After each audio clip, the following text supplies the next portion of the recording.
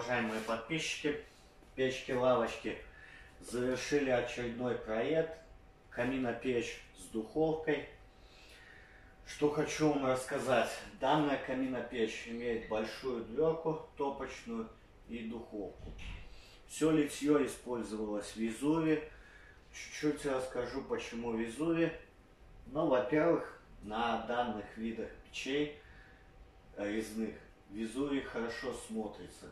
Но он не только на таких смотрится хорошо, и как бы на классических печах неплохо смотрится. За счет чего? Красивый дизайн, стекла, можно любоваться на огонь. Плюс удобно ставить. Каждый, каждая дверка рассчитана так на, на энное количество рядов кирпича. То есть нам удобно, меньше подрезки, меньше, а если меньше режется кирпич, то есть он крепче. Вот. Что хочу еще рассказать. В данной печи большая топочная дверка и большая топочная камера. Камера 55 на 50 и высотой 50, почти 53 для точности. Для чего это удобно? Ну, удобно, большие закладки можно ложить. Это первое.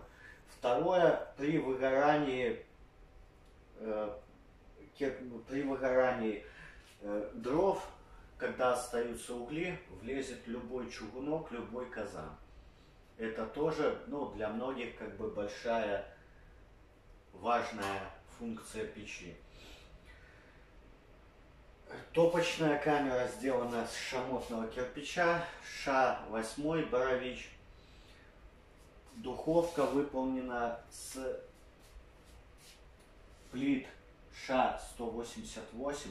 Также топочная перекрыта также плитами ша-188 и наверх еще в клин перекрыта лещаткой. Что хочу сказать по работе данной печи, как работает духовка, как что. Огонь стопочный бьет в дно духовки, оборачивает по задней стенке, греется задняя стенка и также оборачивает вверх, греется верх духовки. В данной духовке имеется вытяжка. Кто нас смотрит, знает, уже не раз видел данные вытяжки, какие мы ставим. Также данная печь имеет полочку. Положить коробочек спичек, пачку сигарет, либо еще что-нибудь. Ну, отсюда вроде бы все рассказал. Удобные ручки. Вот.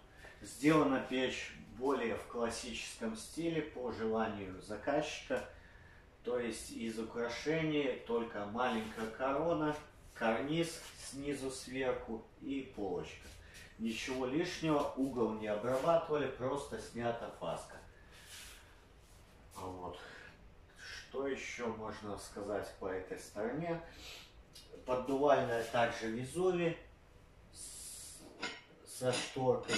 Дверка тоже со шторкой, так что печь можно, можно топить как колосниковую, так же и как подовую. То есть заложить колосник, допустим, пластиной металла и топить чисто регулируя шторкой на дверке. Вот. Ну, пошлите дальше. Расскажу, покажу. Так, ну смотрите. Данная печь имеет две прочесные дверки. Первая дверка находится вот здесь. Огонь проходит вот сюда. Покажу отсюда. Вот так вот стопки поднимается и уходит на переднюю стенку. Бьет в переднюю стенку. Данная прочесная достает... Ну, отсюда сейчас попробую показать. Данная прочесная достает до самой передней стенки. Как оно работает? Вот оно поднимается. Здесь небольшой, не, небольшой, а колпак на 4 ряда. Бьет в подвертку. подворачивается дым и уходит в верхний колпак. Верхний колпак также оснащен прочесной. Также в печи так, оснащен прочесной, которая чистит полностью от дымохода до прочесной. Э, чтобы печь давала более тепла, э, подъемный канал и все каналы по печи, ну то есть даже подвертки, все, разделено на три прохода. То есть три канала поднимается, три канала бьет в переднюю стенку, подворачивается, и три канала выходит наверх, и вот здесь только они соединяются перед дымоходом. Вот так вот выглядит печь. Вот она у нас, эта комната. Вот со всех сторон. Э, так как дом деревянный, со всех сторон печь обошли калийной ватой. Везде. Э, перекрытие в два кирпича, в два ряда. И сверху тоже проложена калийная вата. Возвращаемся обратно. Вот вид спереди данной печи. Это у нас кухня. Вот так она выглядит печь. Вот так она горит на закрытом поддувале. То есть режим тления. Вот так у нас идет уже тяга. Можем приоткрыть здесь. Если открываем полностью поддувальную, вот наш полный режим горения. Но такой режим рекомендую только при пропаливании каналов, чтобы печь прочищала сама себя. Вот, что еще? А, ну вот наша духовка. Так как терракот еще запекается, еще, ну, духовку помыли, но еще не окончательно. Вот прочесная. Вот так она работает. Прочесная установлена прямо в канал, в подъемный канал. Видите, не дымит ничего.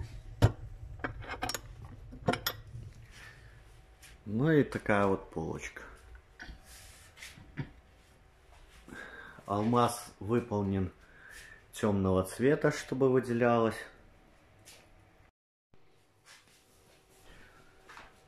Ну, что еще хочу сказать? Ну, во-первых, хочу сказать, передать привет ребятам, с которыми мы работали.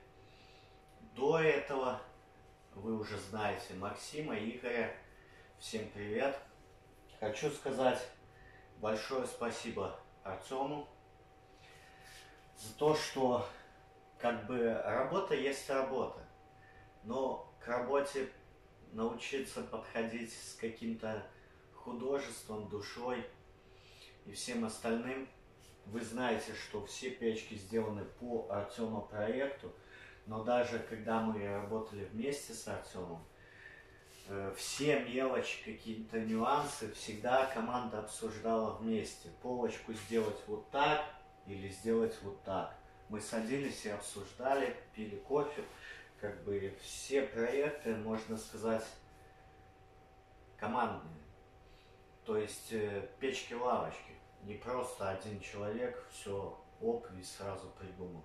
Но большая, самое большое вложение в этом всем это Артем. Вот.